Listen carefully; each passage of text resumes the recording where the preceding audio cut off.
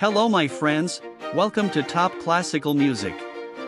Today we will present a short biography about Saint Saens. Camille Saint Saens was a renowned French composer, pianist, and organist, born on October 9, 1835, in Paris, France. He was a child prodigy, displaying remarkable musical talent from an early age. At just three years old, he began playing the piano, and by the age of seven, he gave his first public performance at the Salle Pleyel in Paris. Saint Saens received a comprehensive education in music, studying composition, piano, and organ at the Paris Conservatoire.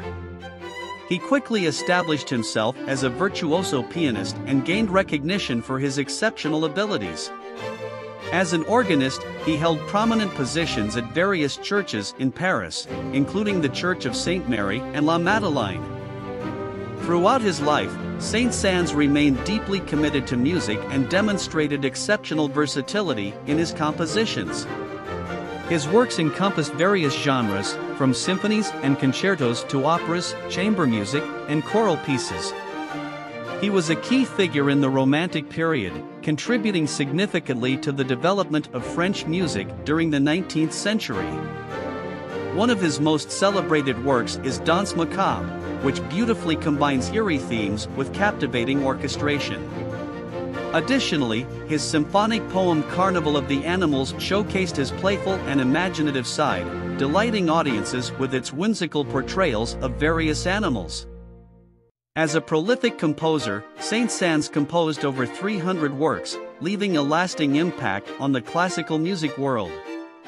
He maintained friendships with other influential composers and artists of his time, including Franz Liszt and Hector Berlioz, and became an admired mentor to future generations of musicians.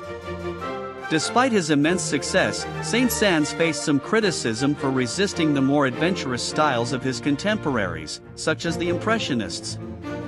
However, he remained steadfast in his adherence to classical forms and structures. Camille Saint-Saens' life was marked by a love for music, a dedication to his craft, and a commitment to educating and inspiring others in the world of composition and performance. He continued to compose and perform until his final days, passing away on December 16, 1921, in Algiers, Algeria, where he had been residing for the latter part of his life. His legacy lives on through his timeless compositions, which continue to be cherished and performed by musicians and audiences worldwide. Well, that's all for today. See you in the next video.